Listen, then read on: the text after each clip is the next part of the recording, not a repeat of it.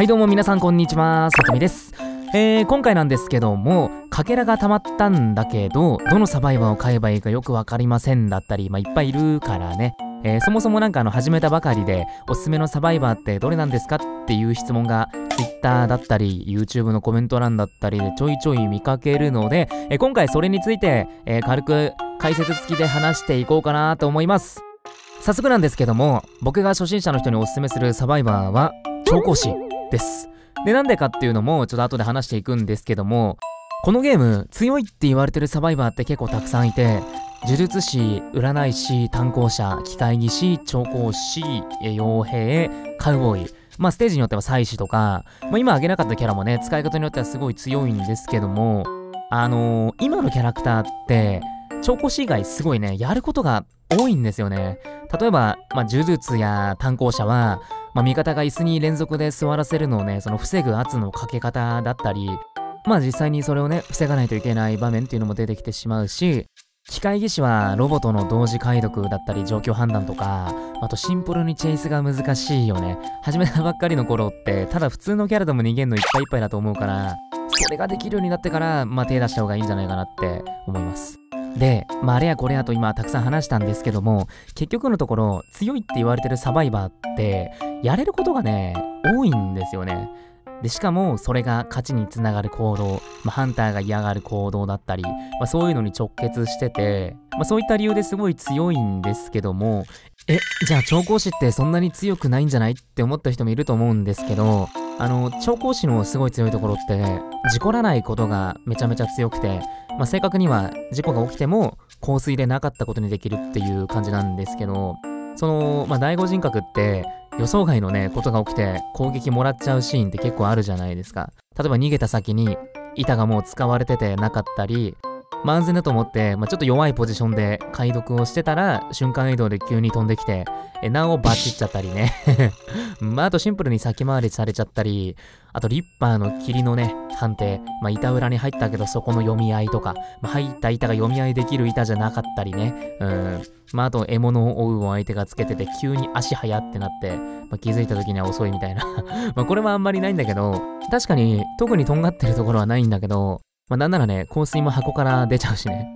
まあ、でも、調香師ってできないことがなくて、初動のチェイスもできるし、え救助もいけちゃうし、なんだったらね、あの暗号機結構どこでも割と解読できちゃうっていうのがすごい強いね。もうキャラによってはね、そこの暗号機解読して、もし瞬間移動で飛んできたら絶対に逃げれないっていうポジションがいくつかあって、もうすっごい弱いところなんだけど、もうそういうところも、まあ行く意味はないんだけど、まあ、どうしてもやらないといけない時とかにも全然回せちゃうっていうのが、本当に何でもできる。まあ、と、板とかね、窓枠の操作速度も100%だし、あと、解読の速度もね、100%だから、まあ、最初からその癖の強いというか、あの、解読速度がすごい遅いキャラだったり、なんか仲間をすごい助けないといけないキャラとか、まあ、そもそもその板とかね、そういう窓の乗り越え速度とかがすごい遅くて、チェイスが不向きなキャラを最初から使うよりも、なんかデフォルトで、えーもしたまに事故が起きちゃってもそれをなかったことにできるっていうキャラを使って、まあ、ある程度ね、えーまあ、逃げれるようになったら他のキャラに手出すのがいいのかなっていう感じです。はい。まあ、この後、調香師の香水の巻き方っていうのを、えー実際にいくつか紹介するので、えー見てみてください。では行こう。調香師のチェイス中に香水を使うタイミングって大きく分けて、まあ、3パターンぐらいあってえまず最初に香水を振っておいて次のポジションに移動しつつハンターが追いかけてきてたら戻る。で板を倒す。と、まあ、使うタイミングは板が少なくて次のポジションに移動したい時あと自分が負傷してて次殴られたらダウンしちゃう時とかそもそもハンターに殴られて存在感を試させたくない時まあ、ポイントは板の近くで使うことで、えー戻ってからね、香水のクールタイム中に、えー殴られるっていうことがなくなります。まあ、後ろ見ながら判断できるといいんだけど、まあ、初めは難しいと思うんで、まあ、赤い光が背中についてるかで判断していいと思います。ギリギリまで引きつけて。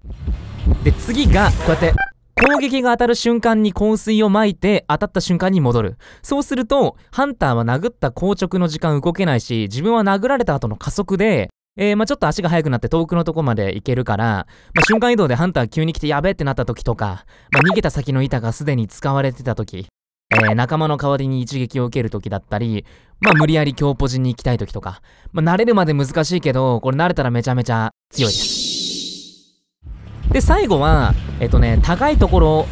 限定になっちゃうんだけどこうやって降りる前に香水を撒いておくことによって、まあ、こうやってハンターがもし降りてきたら戻ればいいし、まあ、降りてこなかったらこの分ね時間を稼げるっていう、まあ、今の3パターンがチェイス中に香水を使うまあ王道の使い方かな。じゃあ今の香水の使い方を実際にやったらどうなるのかと、まあ、あと調香師じゃなくても使える、まあ、普通の初心者のおすすめの逃げ方を紹介します。はいどうもというわけで早速やっていきたいと思います。で鬼から逃げるのにまだあんまり慣れてない人が気をつけることなんですけども、えー板をハンターに当てに行かない。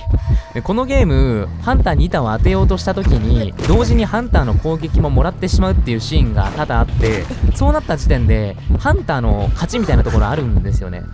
でまあ板だけをハンターに当てるにはちょっとフェイントとかを混ぜたりしないといけないんで、まあ、こうやって安全に、え板を先に倒してハンターに板を割らせて次のところに逃げるっていうやり方をした方が、えー長く生きれます。慣れてないうちは。でこうやって香水を撒いて香水の切れる時にハンターが香水の近くにいたら、え戻らないでまた次の板に行く。まあ今ちょっと分かりやすいの後ろに見ちゃってるんだけど、まあ、背中に赤い線があるかないかで、えーま判断しちゃってもいいかもしれないですね。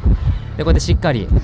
赤い線を見ながら反対が左から来るのか右から来るのかっていうのを見ながら、え逃げる。自分の進行方向から来てたらまた戻ると。でひたすらねこうやって次のポジションに移動する。でまた戻ってきて、まあ、今回もよいしょ香水を撒いて、まあ、危なくなったらすぐ香水撒いちゃっていいと思うんで初めは。で今回はついてきてるのでこうやって戻る。で板を倒すと。でここの板を倒すと回り道しないと来れないんでまたここを乗り越えられるみたいな、難しいことは本当に一文入りもしてないしもう本当にむしろ使わないでいいところで香水使ってるんだけど、まあ、死ぬよりはねすぐに寝かせられちゃうよりはマシなんでね、えー初めてのうちはこうやってゲームに慣れたらいいんじゃないかなっていうまあ、後ろ今ちょっと分かりやすいように見てたんだけど後ろ見ないでもあれ？なんか来てないと思ったらあ割ってたのがいた。なるほどね。あの後ろに赤い線がついてるかついてないかだけで結構分かっちゃったりするんで、まあ、こうやってまた次のポジションにね移動しつつハンター後ろから今窓の乗り越えの音したんで、ま、後ろ見ないでこうやって赤い線もないんででこれ倒しちゃってでハンター割る。でまたこうやって飛ぶみたいな。まあ、本当にね難しい動きしてないけど60秒ぐらいこれでね調校しちゃったら全然普通に稼げちゃうんでそういった意味でゲームになれるためにはまあおすすめかなっていう。まあ結構香水の使い方ねもったいない使い方しちゃってるんだけど本当に座るよりはマシで。でここの板全部使い切った場合ね今まだあるけど。で香水をこうやって前で攻撃をもらうことでこうやって次の板のところまで行けるんですよ。まあ、今だったら病院の中でも入れるしね、まあ、こうやって板のところまで行くこともできるしっていうので、どうでした？結構簡単に時間稼げちゃうでしょ？もう本当は香水今使ったんですけど、香水使わないでもね、板だけで、まあ、今と同じぐらいの時間稼ぐこともできるんですけど、まあ、最初のうち、まだ慣れてない時は、本当にわかりやすく、もう死ぬよりはね、香水撒いた方がいいんで、結局香水を撒いてないのに負傷しちゃってなんか香水を使う前に寝ちゃうっていうのが一番ちょっとまずくて。逆に言うと香水さえ撒けば1分ぐらい時間こ調香師はね稼げちゃうんでもう本当にチェイス自信ない人でも結構おすすめだったりします。まあ最低限ねなんとなく強いポジションだったり板がなんとなくここにあるっていうのは分かんないといけないんだけどまあかけらが溜まる頃にはそんぐらいはまあちょっと分かるようになってるんじゃないかなっていうので、えー今回すごい調香師おすすめです。まあ、調香師で慣れてなんとなく逃げれるようになって、まあ、板の駆け引きとかも覚えてきたら、まあ、プラスアルファのね、炭鉱者だったり、まあ、そういうキャラクターに手出すのがいいんじゃないかなっていう風に思います。で、この後、俺は他のキャラなんて使いたくねえ、調香師しか使いたくねえんだっていう人のために、えーと、まあ、正しい香水の使い方じゃないけど、まあ、しっかり香水を使って逃げたらこうなるんだよっていうのを、えーちょっと取っていきたいと思います。はいどうも、というわけで早速やっていきたいと思います。これ相手はリッパーだね。これリッパーとやるときは本当に自分とリッパーの位置取りが大、あ、ああ、ああ、これあれだ。左右だ。俺これ。マジか。あ、そうだ、最後にやったときに仲間にオフェンスと傭兵とか、救助キャラがたくさんいたから、左右で行こうってやっちゃったんだ。いやでもこれ普段ね、あの、調香師右下でやってて、割れ窓とか出たら戻るね。進んだ分。うん。まあでも逆にそれがないと逃げれないポジションとかもあるから、まあそういうところはそういう感じで紹介しつつ、いい感じにやっていきたいね。で、リッパーから逃げるのって正直一番難しくて、あの、本当に気をつけないといけないことがたくさんあるんだけど、でまずは本当に自分とリッパーの位置取りが大事。よいしょでリッパーが何をしたがってるのかこの場あちょっと戻ろう戻ろうこの場合はあ多分そこの壁を狙ってるね。感謝もいて自分の場所が丸分かりでバレてるしああね。でもしっかり絹刃2枚挟んで壁を防ぎます。でこうなってくるとあの足も遅いし板の操作速度窓の操作速度も遅いからでこれさらに狙ってるね。もう一回霧をたまんの待ってんね。霧溜めてから置いたいタイプかな。でもまだでもあともうちょい溜まっちゃうね。様子見ながら一応まだ溜まってないからこうやって山なりにというか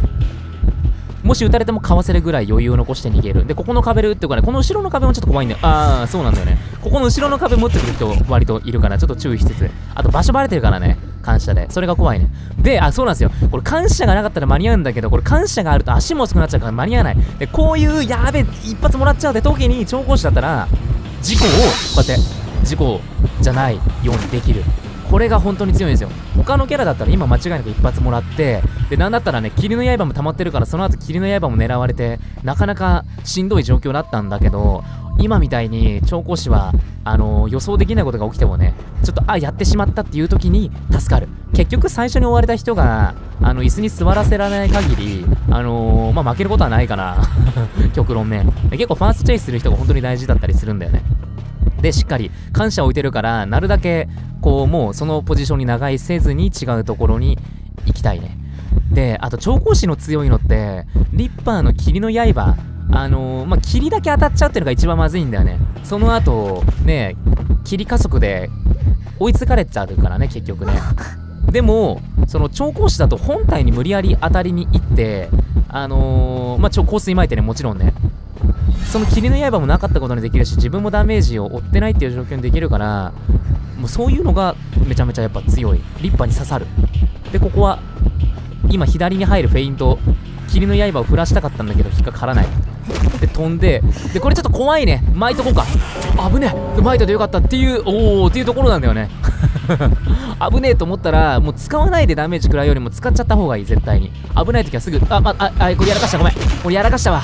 感謝置かれてるの忘れた。これ感謝なかったら今間に合ったんだけど感謝あったから板倒す速度とかが遅くなっちゃって当たっちゃった。っていうので強いんだよね本当に感謝。まあまあまあ言うてまあここまででもねもう3分ぐらい稼いでるからまあ3分も終われることはないと思うんだよね基本的に。暗号機すぐ治っちゃうから。まあでも結局あのー、まあ、ハンターに追われてる時はワンオンワンだから、まあ、1対1でね、逃げれたら、まあ、4人でやってる時も逃げれるから、まあ、こうやって練習するのも、すごいいいんじゃないかな。上手くなるコツなんじゃないかなって思います。で、ここなんだけど、もうちょっと怖いから、あの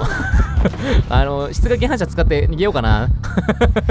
使わない言うとったのに。まあ、本当に危ない時はね、ああやって板をちょっと使って、踏み台にしていくのもいいですね。で、これちょっと切りないば怖いね。